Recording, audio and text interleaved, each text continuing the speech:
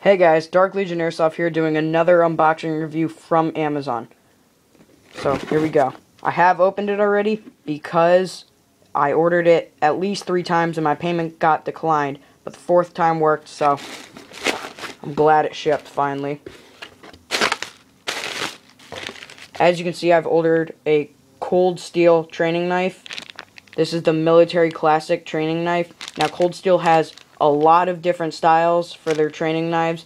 They've got military classic, they've got NATO knives, all kinds. They got tomahawks, swords, katanas. I've actually seen somebody run around in, an airsoft game with a katana. It was pretty cool when he got a katana kill, but a lot of weight.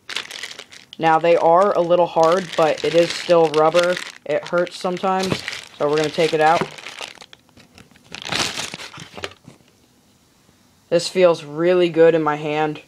I have small hands and the grip is just perfect. It's got really nice checkering in it. Little loophole to attach it to something.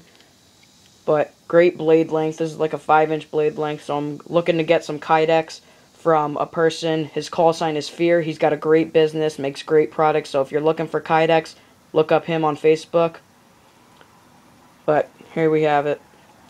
I will have another video up by August 9th. I'm waiting for two more packages to come in, and then those will be here hopefully by August 9th. So, Dark Legion Airsoft signing out.